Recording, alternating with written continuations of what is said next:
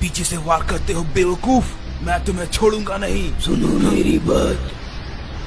मैं यहाँ तुम्हें मारने नहीं बल्कि तुम्हारे भविष्य के बारे में कुछ बताने आया हूँ बारडॉग। भविष्य के बारे में? तुम्हें एक सपना आएगा जिसमें तुम अपने लोगों को मरते हुए देखोगे। क्या? ये ये क्या बोल रहा है? मैं तुम सबको चेतावनी दूँगा। तुम सब खतरे में हो और जल्दी मरने वाले हो। वैसे ही जैसे हम मर रहे हैं। तुम लोगों को बचाने वाला कोई भी नहीं होगा।